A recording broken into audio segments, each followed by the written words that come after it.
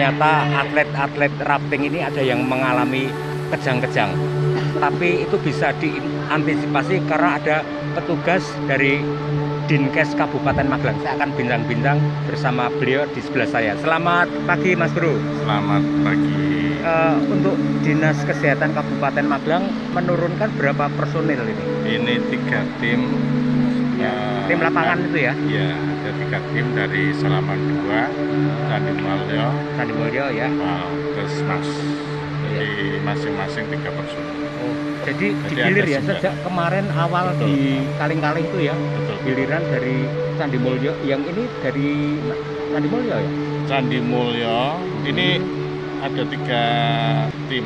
Jadi tim Oh, iya. Candi Mulyo, tim Salaman 2, Ya, kemudian tim Balkesmas. Masing-masing tiga personil.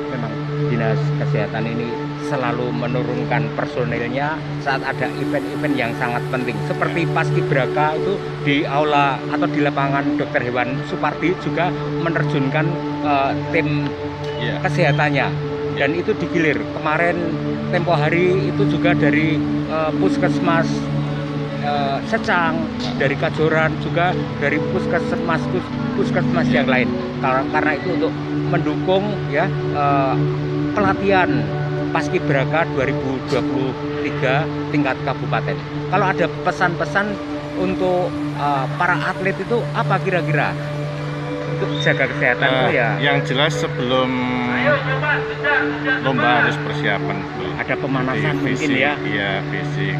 Ya. Itu juga harus dipersiapkan. dan jangan lupa mungkin pola makan itu ya itu harus memenuhi ya untuk mendukung eh, stamina tubuh. Iya. Oke Mas Bro terima kasih bintang-bintangnya ya. Salam sehat. Dari mana nih? Itu saja bintang-bintang saya dengan sobat saya dari eh, kesehatan Puskesmas Salaman 2. Salam Bhinneka Tunggal Ika, jaga persatuan, jaga kesatuan, saling menghormati, saling toleransi. Salam Bhinneka Tunggal Ika dan salam kebangsaan. Luar biasa.